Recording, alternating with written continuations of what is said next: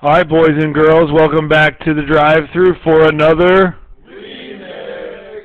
This is a special atonement edition of of the drive-through, atoning for the what is so far the worst video of the year, and we're just going to go ahead and do this one over.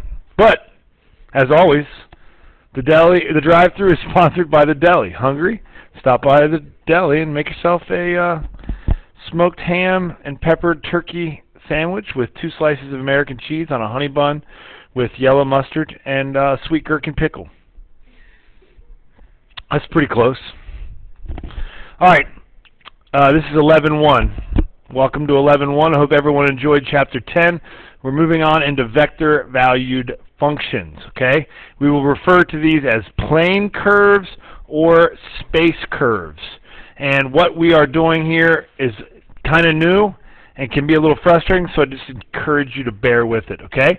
In two space, these are going to look like this. R of t is equal to um, f of t, some function of t in the i direction, plus some function of t, a different function, in the j direction, okay? So sometimes you will see those written like this just like vectors. We can skip the i's and j's and just write it in vector form like that, okay? Space curves are going to have three dimensions, and those dimensions will be defined by three different functions. So f of ti plus g of tj plus h of t k. Okay?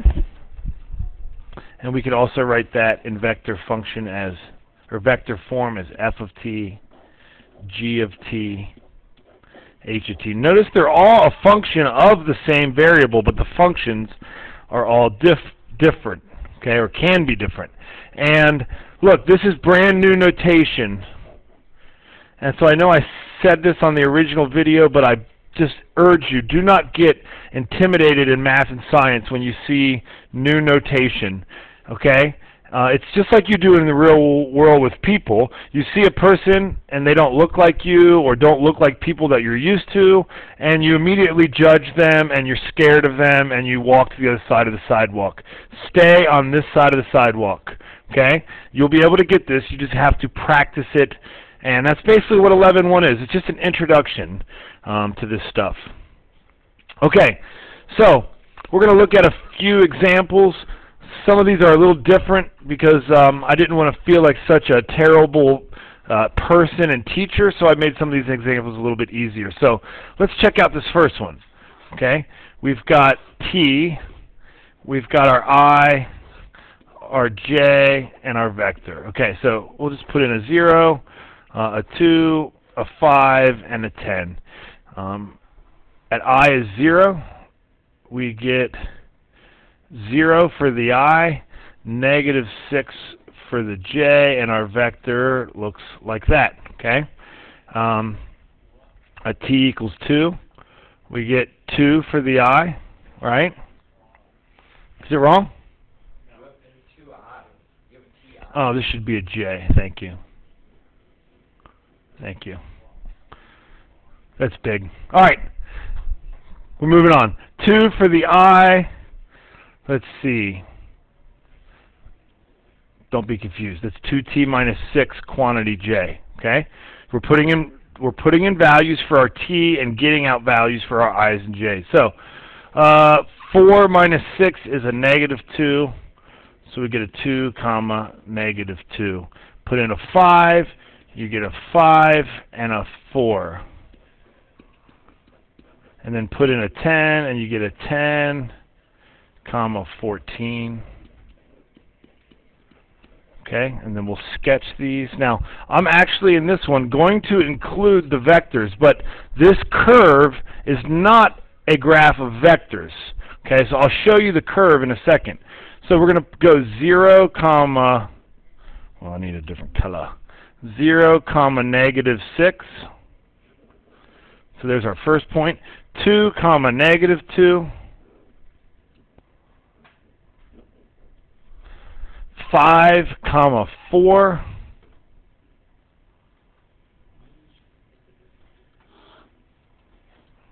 Okay. Um, this one probably should have been a little longer if we're keeping things in scale. And um, let's see, that was 5 comma 4. And finally 10 comma 14 is going to be somewhere way up there. And I don't know if you realized it or not, but these, this is a line, okay? And I can show you that it's a line here in just a second. Here, what I have not done yet is I have not sketched the plane curve. The plane curve is the set of all of the points, okay, when you plug in for t. So the plane curve in this one is a straight line. Okay, and if I just let x equal t, okay, well then y would be 2x minus 6, and now you can see where that line 2x minus 6 came from. Okay? All right, so let's let's do one that may be a little bit more complex. Anytime we want these things to go in circular or orbital paths, we're going to involve sines and cosines. Okay? So um, I'll make another little chart. I've got t, I've got i, I've got j, and I've got our vector. Let's go 0, pi over 6, pi over 4, pi over 3, pi over 2, and then let's just hit up the big ones after that. So pi, 3 pi over 2, and 2 pi. Okay, go as fast as I can. You guys can check me to see if I make mistakes. Sine of 0 is 1. Cosine of 0, sorry, sine of 0 is 0. Cosine of 0 is 1. Our vector will be 0, comma 1. Um, sine of 30 degrees is a half. Yep. That makes this one radical 3 over 2. And you guys, that would be 1 half comma radical 3 over 2. I'm not going to graph the vector. I'm not going to write the vector out anymore. You guys get the idea. Okay, this is radical 2 over 2 and radical 2 over 2, and you would put those in that vector. Um, this will be switched, so radical 3 over 2 and 1 half 90. Sine of 90 is 1, cosine of 90 is 0. At pi, you get sine of pi is 0 and cosine is negative 1. At 3 pi over 2, you get sine is negative 1 and cosine is 0. And at 2 pi, you're back where we started. Okay, so once again, this is a plane curve. And um, I guess we haven't stated, but this is our I and our J. And so we would start at 0 comma 1. Then we go to 1 half comma radical 3 over 2. Um, let's see, hold on.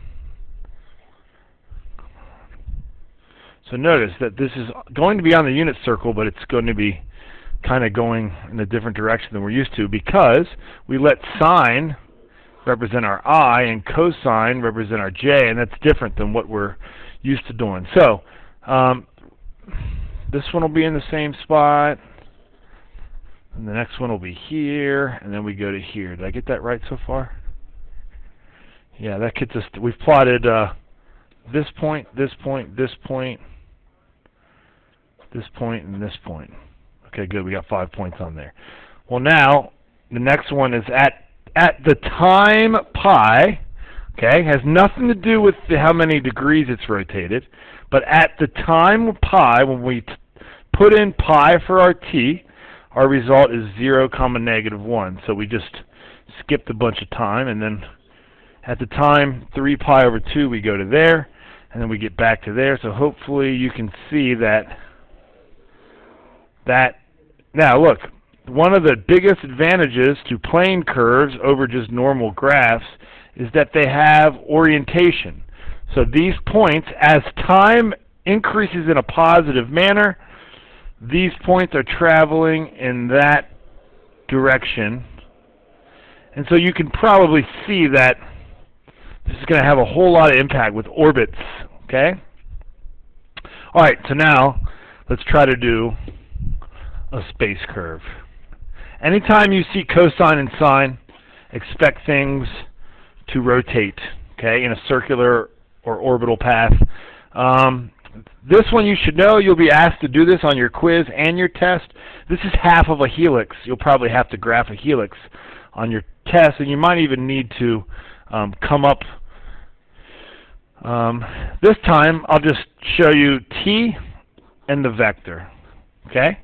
So let's just pick some key points. 0, pi over 2, pi, 3 pi over 2, 2 pi. Okay, so cosine of 0 is 1, sine is 0, and our t is 0.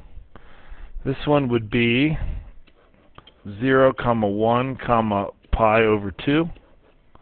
Okay, this one would be, let's see, negative 1 comma 0 comma pi. 0 comma negative 1 comma 3 pi over 2 and back to where we started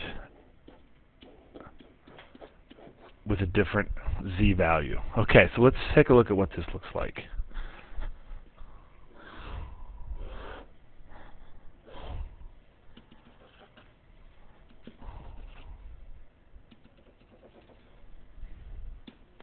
Okay, so hopefully you guys can see that this is going to, we're going to need the unit circle on the bottom.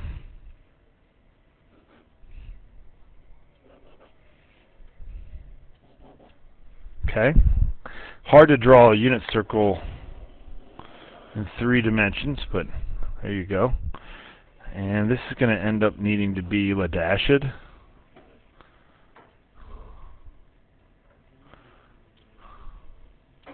Dashed. Alright, so let's see.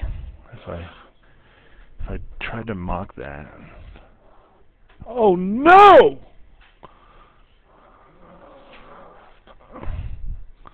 Okay, so that's not our space curve at all. Okay? Our space curve is going to be wrapping around that cylinder looking thing. It's going to be starting at 1 comma 0 comma 0 which is right here. Okay? Then we're going to be at 0 comma